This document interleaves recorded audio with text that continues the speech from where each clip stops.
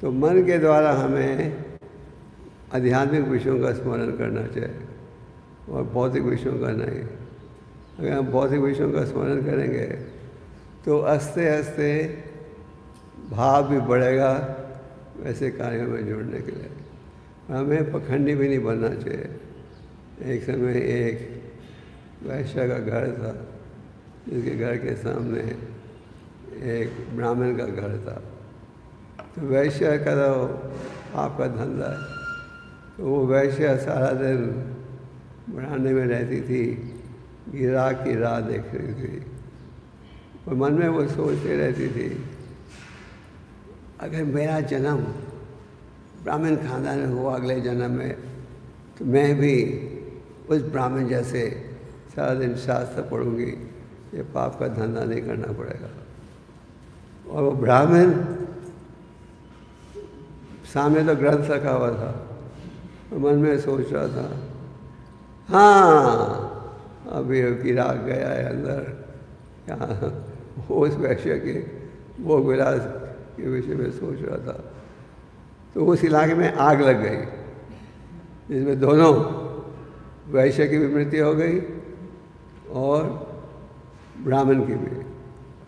तो यामदूत आए ब्राह्मण को लेने। ब्राह्मण ने कहा, आप गलत पते पर आ गए हो। आपको तो वैश्य के पास जाना चाहिए। तो यामदूत ने कहा, वैश्य पाप के धंधे में जुड़ी थी, और मन में सोच रही थी, कब ब्राह्मण बनूँगी। आप दिखावा कर रहे थे ब्राह्मण का दिन रात सोचते थे वैश्य के भोग विलास के जीवन में कितना आनंद है। तो आप चलो सजा भोगने के लिए। तो भगवत गीता में कहा गया है, हमें प्रिटेंडर नहीं बनना चाहिए। प्रिटेंडर मतलब बाहर से ब्राह्मण, साधु का रूप और मन वाला, ये इंदिया तृप्ति के विचारों में जुड़े रहे। ऐसे जुड़े रहोगे, भक्ति अभी कमज़ोर हो जाएगी।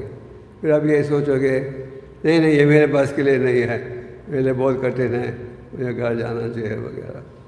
अगर आप शुरू से ही नियम करो, जैसे कल विचार आए, तुरंत उन्हें एकदम बाहर फेंक दो और भगवद गीता में भगवान क्या क्या क्या कहते हैं? जब मन भटकेगा, वहाँ से उसे वापस खींच कर ले आओ। बच्चा बीच, बच्चा भागता है तो माता क्या करती है? भाग कर उसे वापस ले आती है। मन जब गलत स्थान में भटक रहा है, उसे वापस ले आओ। और भौतिक विषय की बजाय आध्यात्मिक विषय को बिठाओ।